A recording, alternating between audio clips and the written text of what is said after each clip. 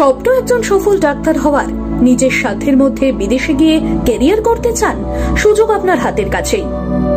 Mission MBBS best abroad consultancy in West Bengal স্বপ্ন পূরণে আজই ভর্তি হওয়ার জন্য যোগাযোগ করুন। এই নম্বরে nine seven three two one double two seven double four. কমিটিতে हाँ आपका आपका हम आपका सीनियर है लेकिन हमारा तरफ से आपको क्या बोलेगा आपको बहुत बहुत शुभेच्छा है हाँ, या आपका लिए हुआ है आपका लिए हुआ है हाँ,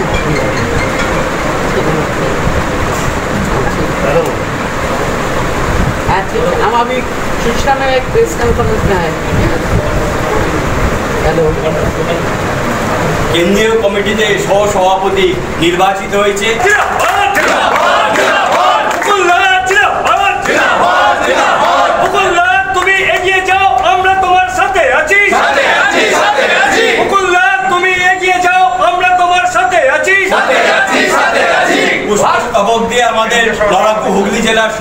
সভাপতি মাননীয় গৌতম চট্টোপাধ্যায় মহাশয় তাকে কেন্দ্রীয় সহসভাপতি মুকুল্লায় জিন্দাবাদ কেন্দ্রীয় সহসভাপতি মুকুল্লায় ভারত মাতা কি? ভারত মাতা কি? উত্তরীয় পড়িয়ে তাকে সম্মান এবং তোমার নেতা মুকুল্লায় জিন্দাবাদ আমার নেতা তোমার নেতা মুকুল্লায় জিন্দাবাদ কেন্দ্রীয় সহসভাপতি মুকুল্লায় জিন্দাবাদ ভারত মাতা কি মাননীয় মুকুল রায় মহাশয়কে বরণ করে যাচ্ছেন কেন্দ্রীয় সহসভাপতি মুকুল্লা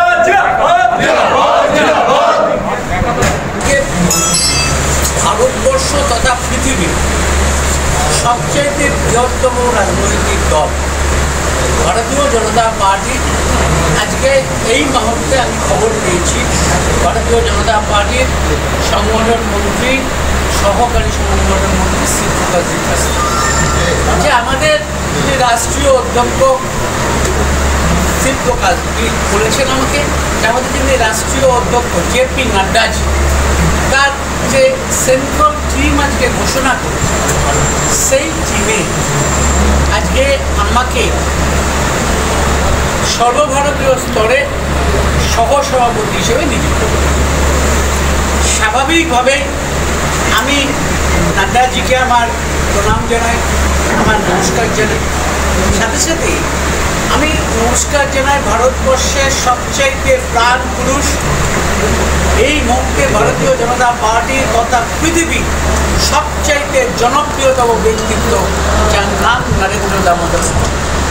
সেই নরেন্দ্র দামোদর মোদীজি আজ ভারতবর্ষের বিজেপির কর্ণধার। ভারতবর্ষের কর্ণধার। পৃথিবীর ইতিহাসে এই মুহূর্তে সবচেয়ে জনপ্রিয় আমি আমার তরফ থেকে তাকে প্রণাম করি।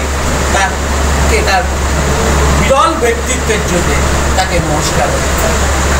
আরও একজন বলতে হবে যে, ভারতবর্ষের যে গৃহমন্ত্রী যার হাতে সবচাইতে তার সময়ে ভারতীয় জনতা পার্টির শ্রীবৃদ্ধি হয়েছে, সেই অমিত ভাই শাহজিকে আমি আমার তরফ থেকে, আন্তরের অন্তঃস্থল থেকে আমি তাকে প্রণাম করি, তাকে শুভেচ্ছা জানাই, যাতে তার নেতৃত্বে যেভাবে বিজেপি এগিয়েছে, এখন নাড্ডাজির নেতৃত্ব যেন আমরা সেইভাবে সুতরাং যে গুরু দায়িত্ব যে গুরু দায়িত্ব আমার উপর উনি আস্থা রেখে দিয়েছেন, আমি সেই গুরু দায়িত্ব মাথা পেতে গ্রহণ করেছি এবং আমি চেষ্টা করব যে ভারতীয় জনতা পার্টি যে কাজ আমাকে দেওয়া হবে, আমি সেটা সুচারুভাবে পালন করব তাই স্বাভাবিকভাবেই আমি যে দায়িত্ব আমার করা হয়েছে।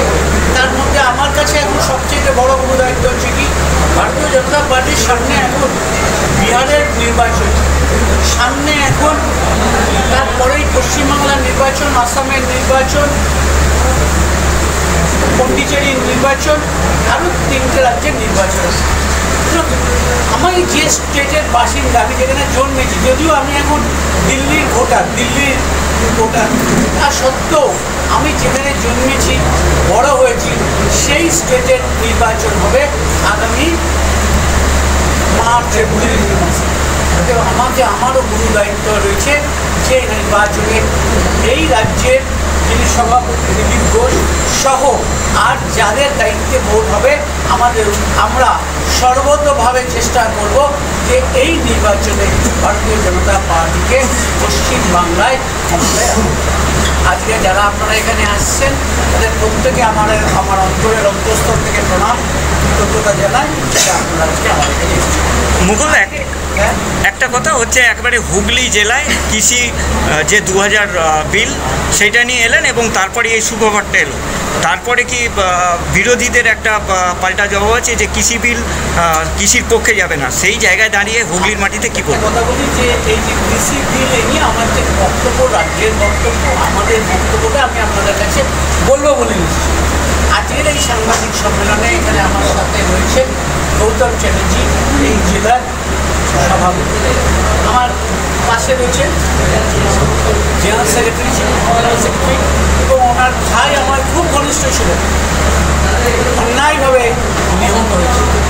আমার খুব ঘনিষ্ঠ ছিল এবং যখন আমি তৃণমূলে ছিলাম যখন তৃণমূলে ছিলাম না।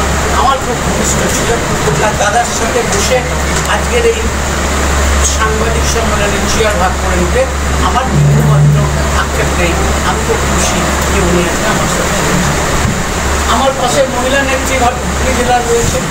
আমার সুরভি চ্যাটার্জি। আমার ডান পাশে এই জেলারই ছেলে, ভারতীয় জনতা পার্টির যুব মোর্চার রাজ্যের, কিষাণ মোর্চার রাজ্যের সম্পাদক সুরাজ রয়েছে। আমার দীর্ঘদিনের সহকর্মী। দীর্ঘদিনের সভাপতি আমি আবার বলি, পদে থাকল কি না থাকল এটা বড় কথা নয়। রাজনীতিতে মানুষের সাথে থাকা হচ্ছে বড় কথা। সেই বিজু আমার সাথে রয়েছে আমি সবাইকে আমার সাথে আজকের এই জায়গায় থাকার জন্য। সবাইকে আমার অভিনন্দন এবার আজকে কতগুলো কথা বলে যে একটা জিনিস আজকে বাংলায় একটা উস্কে দেওয়ার চেষ্টা হচ্ছে। উস্কে দেওয়ার চেষ্টা হচ্ছে যে কৃষি উৎপাদন এবং বিপণন ক্ষেত্রে মুক্তির যে এনে দিয়েছে কেন্দ্রের এই ঐতিহাসিক এখন থেকে একটা কথা দিনের আলোর মতো স্পষ্ট যে কৃষি বিল নিয়ে কৃষিজীবীদের ঘাম ঝরানো ফলনের ওপরে পূর্ণ নিয়ন্ত্রণ এবং অধিকার শুধুমাত্র তাদেরই হাতে পড়ে বা দালালদের হাতে। সদ্য প্রধানমন্ত্রী নরেন্দ্র মোদীজি দেশের চাষি ভাইদের প্রতি সুস্পষ্ট আশ্বাস কৃষকরা যাতে ফসলের ন্যায্য দাম পান তা নিশ্চিত করেছে ন্যূনতম সহায়ক মূল্য থেকে তাদের বঞ্চিত হওয়ার কোনো প্রশ্নই নেই। এ ব্যাপারে কেন্দ্র কৃষকদের প্রতি প্রতিশ্রুত। এখানে বিভ্রান্তির কোনো অবকাশ নেই। লোকসভা এবং রাজ্যসভায় পাশ হয়ে এই তিনটি বিল কী? কী তিনটা বিল হচ্ছে, একটা হচ্ছে farmers produce trade and commerce bill. The Farmers empowerment and protection agreement on price assurance and farm service essential commodities amendment এটা ঘটনা গুজব ছড়িয়ে রাজনৈতিক ফায়দা লওয়ার চেষ্টা করছে বিরোধী শক্তি তো আসল সত্যটা হল কৃষি বিলের দৌলত দীর্ঘ প্রতিনিধিত প্রতীক্ষিত স্বাধীনতা অর্জন করলে নিজেদের উৎপাদিত ফসলের সফল বাণিজ্যিকরণের ক্ষেত্রে চাষিদের সামনে কোনো বাধা থাকছে না। যেখানে ইচ্ছে, যাকে ইচ্ছে, তারা ফসল বিক্রি করতে পারবেন স্বাধীনভাবে চাষিরা মনে করলে নথিভুক্ত কৃষি মান্ডি বা পাইকারি বাজারের বাইরেও কোনো ব্যক্তিগত মালিকাধীন সংস্থা বা বাণিজ্যিক সংস্থার সাথে বিপণনের ব্যাপারে আগাম হবে দালাল বা ফোরনের দাপট থেকে গোটা কৃষি ব্যবস্থাকে, গোটা কৃষি ব্যবস্থাকে মুক্তির পথ দেখাবে কেন্দ্রের এই সাহসিকতা কৃষকদের আর্থিক নিরাপত্তাহীনতার সুযোগ নিয়ে। আর তাদের হেনস্থা করে অর্থনৈতিক ফায়দা ঘুরতে পারবেন না প্রিয় প্রধানমন্ত্রীজির ভাষায় যাবতীয় বঞ্চনা থেকে নিজেদের রক্ষা করতে কৃষি ধর্ম হিসেবে ব্যবহার করতে পারবেন তাই নিঃসন্দেহে এক ঐতিহাসিক পদক্ষেপ এবং কৃষি, দেশের কৃষি সংস্কারের কিন্তু কী গুজব? এবং আশঙ্কা ছড়িয়ে আমি আপনাদেরকে বিরোধী বিরোধী করার চেষ্টা করছেন। বিরোধীরা এমএসপি বা ন্যূনতম সহায়ক মূল্য থেকে বঞ্চিত হবেন কৃষক কী কী বলতে চাইছে বলতে চাইছে ভারতের কৃষি উৎপাদন এবং বিপণনে সরকারের কোনো নিয়ন্ত্রণ বলতে চাইছেন কৃষকদের ভাগ্য নিয়ন্ত্রণ করবে, বড় কর্পোরেট হাউস তারা নিজেদের মুনাফার স্বার্থে চাপ সৃষ্টি করবে কৃষিজীবীদের। ফলে চরম দুর্দশার মধ্যে পড়বে কৃষি পণ্যের মূল্য নির্ধারিত হবে কর্পোরেট হাউসের মূল্যের। বিশেষ করে অত্যাবশ্যক পণ্য সংশোধন বিল পাস হওয়ার। সংশয়ের মাত্রাটা আরও বেড়েছে চাল, ডাল, আলু পাওয়া পেঁয়াজ, গম, ভোজ্য তেল তৈলবীজের যত ইচ্ছে মজুত করা ছাড়পত্রের অপব্যবহারের আশঙ্কা গেছে। কিন্তু খাদ্য গণতন্ত্রের প্রতিমন্ত্রী দানবে দাদারাও কি বলেছেন উনিশশো পঞ্চান্ন সালে অত্যাবশ্যক পণ্য সরবরাহ চালিয়ে আজ পর্যন্ত একবারও তা সংশোধন। অথচ প্রয়োজন দেখা দিয়েছিল অনেক আগে। এই বিল এখন পাশ হওয়ায় চাষিদেরও লাভ, ক্রেতাদেরও লাভ।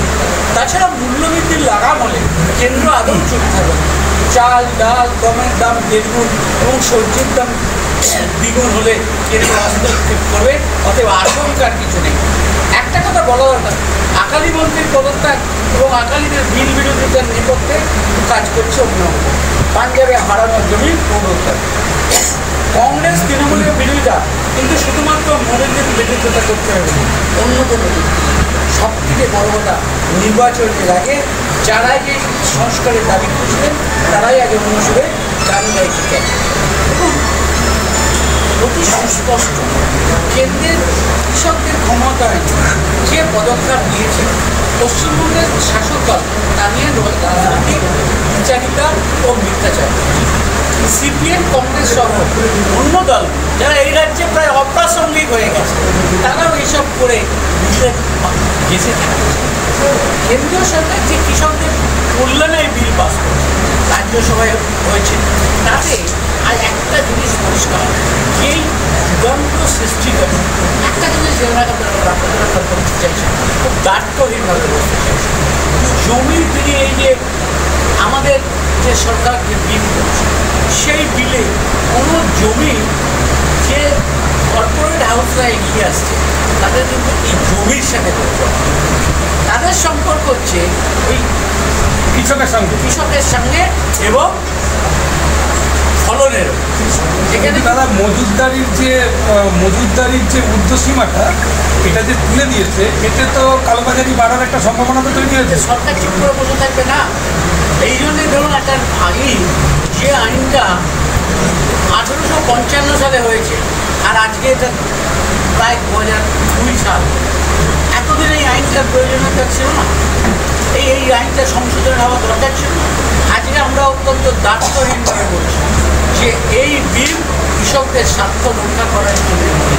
এবার এটা যে অভিযোগ উঠছে যে এটা আম্বানি আদানি এদের পাইয়ে দেওয়ার জন্য বড় শিল্প গোষ্ঠীকে পাইয়ে দেওয়ার একটা চেষ্টা চলছে। আম্বানি বা আদানি কোথায়? এখানে তো আম্বানি আদানির ব্যস্ত নয়। এখানে তো হচ্ছে ব্যাপারটা হচ্ছে কৃষক ফলন মানুষ। দীর্ঘদিন ধরে যাদের সাথে তাদের কোনো ব্যাপার নেই। স্বাভাবিকভাবেই আমরা দার্থহীন অত্যন্ত দৃঢ়তার সাথে বলছি নরেন্দ্র মোদীজি কৃষকদের উদ্দেশ্যে যে বিল এনেছে, এটা ঐতিহাসিক বিল এবং এই বিলে কৃষকরা লাভবান হবেন এবং ফোরেরা জব্দ হবেন। তাই আজকের এই বিল এসছেন ভারতীয় জনতা পার্টি, আজকে যেমন আমি হুগলি বললাম, কালকে হয়তো আরেক জায়গায় বলব, এইভাবেই আমরা সমস্ত জায়গায় এটা বলে আপনি তো গ্রামে গঞ্জে গেছেন আমাদের জেলায়। রাজ্যে। আপনি জানেন পেপসিকো বলে একটা কোম্পানি এইভাবে চুক্তিভিত্তিক চাষ করার চেষ্টা করেছিল বা এখনও চলছে বিভিন্ন। জায়গায়। বর্ধমান চাষিরা ক্ষতিগ্রস্ত হয়েছে। এই চুক্তিভিত্তিক চাষে আবার আপনাকে বলছি আমি হুগলি চিনি ছ পার্সেন্ট এখানে সারা পশ্চিমবঙ্গের ছ পার্সেন্ট এই কৃষিজন্য চাষের টোটাল পশ্চিমবঙ্গ সিক্স পার্সেন্ট এখানে যে চুক্তি হবে তাতে মালিকের সাথে ফলন আর কৃষকদের হবে এখানে অন্য কিছু নেই। সুতরাং এখানে কোনোভাবেই কোনো কৃষক বঞ্চিত হওয়ার জায়গা নেই এবং এখানে দাঁড়িয়ে কৃষকরা লাভবান। দাদা কন্ট্যাক্ট কন্ট্যাক্ট করতে বাধ্য হবে না তো? না এখানে কোনো প্রশ্ন নেই কন্ট্যাক্ট করতে বাধ্য হওয়ার কর্পোরেট হাতে গেলে তারা তো মুনাফাটা বেশি চাইবে। কর্পোরেটের হাতে গেলে পরে যদি যায় যে নেবে সে কর্পোরেটের সাথেই চুক্তি হবে। এবং সেই চুক্তিটা এই যে লোকেরা বলছে জমির চুক্তি আছে জমির চুক্তি তার ফলনের উপর তার কোথায় কী হবে তার উপর চুক্তি আচ্ছা, আরেকটা জিনিস একটু পরিষ্কার করে দিন ধরুন কোনো এই আমফান টামফান এই জাতীয় কোনো প্রাকৃতিক দুর্যোগে যদি ফসল নষ্ট হয়ে যায় সেক্ষেত্রে কি লাইবিলিটি নেবে ওই কর্পোরেট হাউস আমার এখানে যেমন চুক্তি হবে তখন স্বাভাবিকভাবে তার একটা জায়গা প্রবিধান নিশ্চয়ই। কিন্তু এটা উল্লেখ নেই ওই বিলে আমার কিন্তু বলছি উল্লেখ। প্রবিধান থাকবে। কিন্তু অত্যাবশ্যকীয় পণ্য থেকে দাদা এগুলো বাদ যাওয়ায় আমপান তো বারবার হয় না। আমপান এই একশো কুড়ি বছরের ইতিহাসে কিন্তু বারবার হয়নি এটা একটা প্রথম আমরা কিন্তু বৃষ্টি তো প্রত্যেক বছর হয়। বৃষ্টি হয় কিন্তু তার সাথে একটা যুক্তি নেই। যে এই এপিডেমিক হয় যেমন করোনা নাইন্টিন এটা তো বারবার আমরা কেউ দেখিনি আমাদের জীবনকালে আমরা পাইনি। এটা তো যারা তোমরা আছো, তোমরাও দেখোনি। অতএব এটা তো একটা মহামারী, এটা একটা এপিডেমিক এটা নিশ্চিত করে একটা জায়গায় এসছে।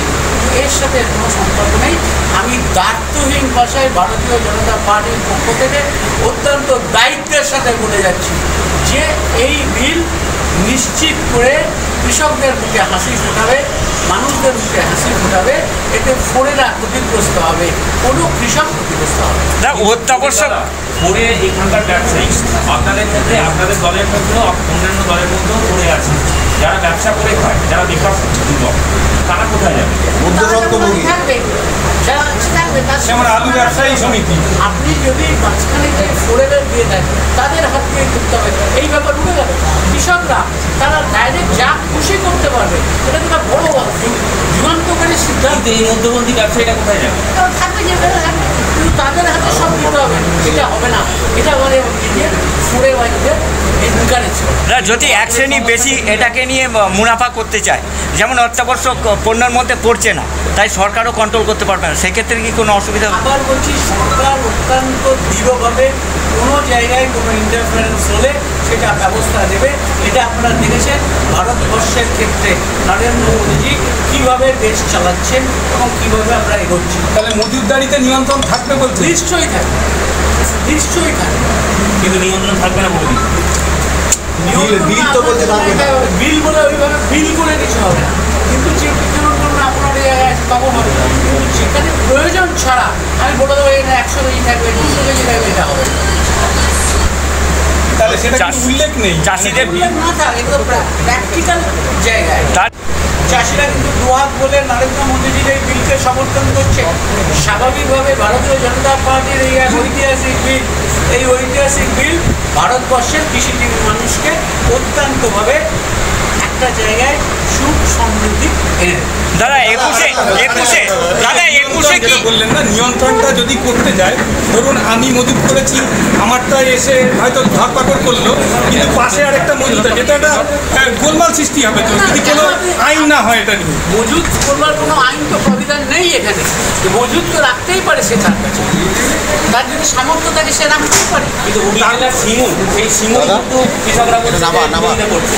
এই দাদা বলছি আমি বলছি সিঙ্গুরের কৃষকদের আমি চিনি আচ্ছা স্বাভাবিকভাবেই বলছি কোনো বিরোধিতা দাদা দায়িত্ব অনেক বাড়লো দাদা।